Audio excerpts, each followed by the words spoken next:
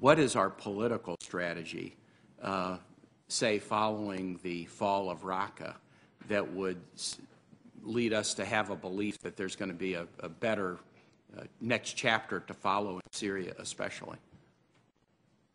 Senator, I'm not sure I can comment uh, on, on what the political, uh, what the political strategy is. I, I do believe this is a key aspect of what the Secretary Mattis and the administration are discussing right now with respect to what this, uh, what this looks like long-term. And General Votel, I think that's a good answer. You, you're not commenting because the political strategy is really for the political leadership, not the military leadership, the administration and Congress. And uh, you, you understand that Congress has a role in this as well, not just the administration.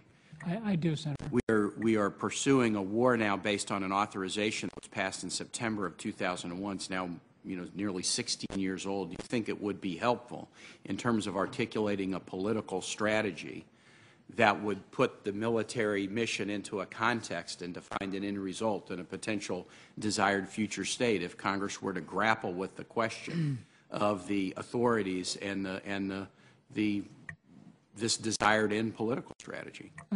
Senator, I, I think the, the current AUMF is, is, is, is, has provided what we needed, but I do believe an updated, uh, an updated authorization certainly would send a stronger commitment to uniformed military uh, that, of our, of our commitment and desire to support them. In the CENTCOM space, if we, the military mission succeeds and Raqqa were to fall, do you still believe that the American mission against ISIL and Al Qaeda will take a long time?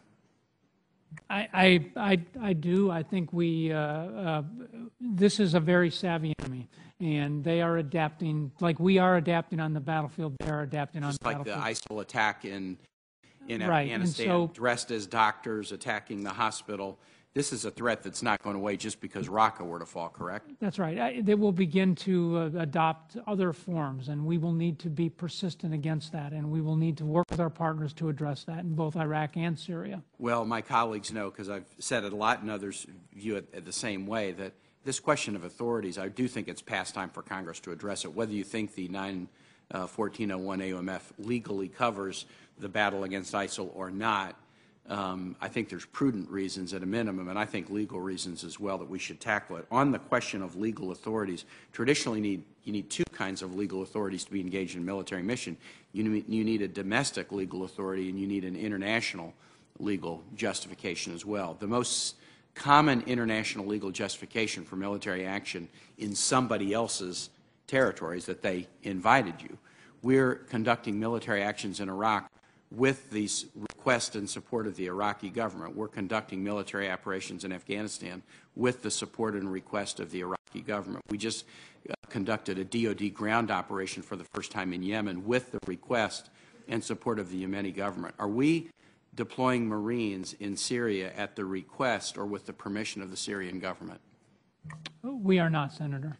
What is the international legal justification for the U.S. taking military action in another country without the request of that country? We've criticized nations such as Russia, for example, for undertaking military actions in the Ukraine or Crimea without the request of the government. Uh, Thank you, Senator. I I think uh, we we certainly make a a judgment about the ability of the government to make a the decision in that case. I think in what we are doing in Syria, we are looking at that as an extension of the uh, of the authority uh, to operate from from Iraq.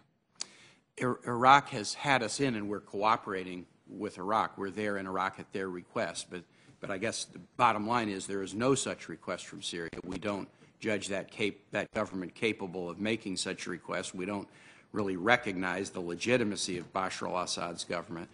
But um, you are saying that the international legal justification for American military action in a country that hasn't asked us is the fact that we're engaged in a military action in a country next door that has asked us?